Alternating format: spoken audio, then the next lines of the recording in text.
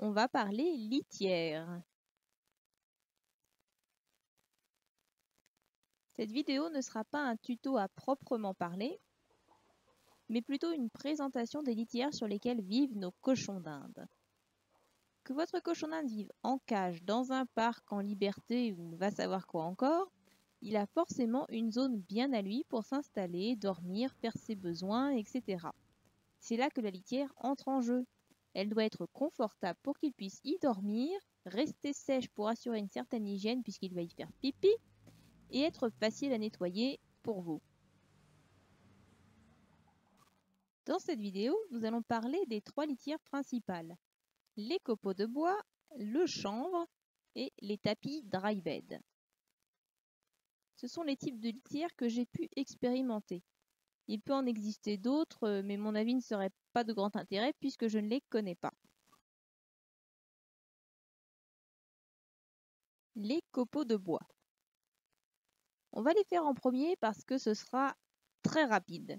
Vous les regardez et vous les oubliez. Ne jamais en acheter et en utiliser. Les copeaux de bois font de la sciure, des particules très fines de bois qui pénètrent les voies respiratoires des petits animaux et peuvent créer de gros problèmes respiratoires.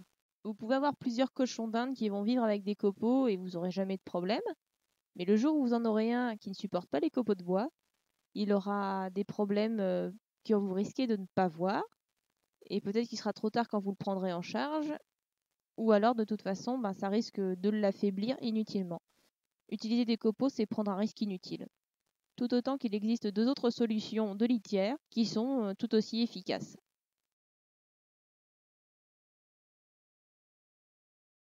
Le chanvre. C'est exactement le même principe que les copeaux de bois, mais avec la grosse différence qu'il est inoffensif pour les animaux. Donc, vous mettez votre litière de chanvre au fond du bac et elle absorbera l'urine. Comme c'est assez lourd, le chanvre ne recouvrira pas les crottes et il faudra les enlever ou changer le bac assez régulièrement. Sinon, bah vous aurez des crottes à la surface de litière partout. Donc si vous êtes habitué au copeaux, le chanvre est une bonne transition pour passer à autre chose. Ça ne vous demande pas de changement, juste d'acheter un autre produit. Le dry bed, ce qui veut dire lit sec en anglais. Voilà un concept très différent des autres litières. Rien à jeter à la poubelle ici, on a des tapis à laver. J'utilise les dry beds depuis janvier 2011 et une chose est sûre, je ne changerai pas, ça révolutionne le confort des animaux et la manière de gérer leur habitat. Donc oui, le dry bed, je vais y passer plus de temps pour les présenter et pour faire leur éloge. Mon gros problème avec la litière naturelle, donc euh, quand j'utilisais des copeaux malheureusement, et aussi avec le chanvre, c'est qu'il faut avoir un bac fermé pour la contenir et jeter le tout à chaque fois qu'on change le cochon d'Inde et un produit emballé en plus à acheter régulièrement. Donc ça fait des déchets à foison, ce qu'on balance à la poubelle, la litière usagée, et l'emballage de la litière.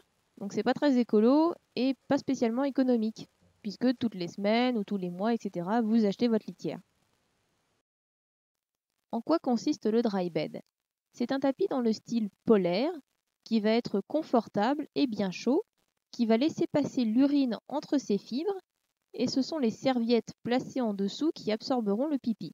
Aucun risque d'allergie car les dry beds sont 100% synthétiques. Une fois le dry bed acheté, vous le lavez et le réutilisez à l'infini.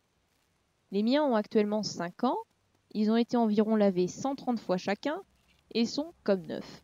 Ils ont encore de belles années devant eux.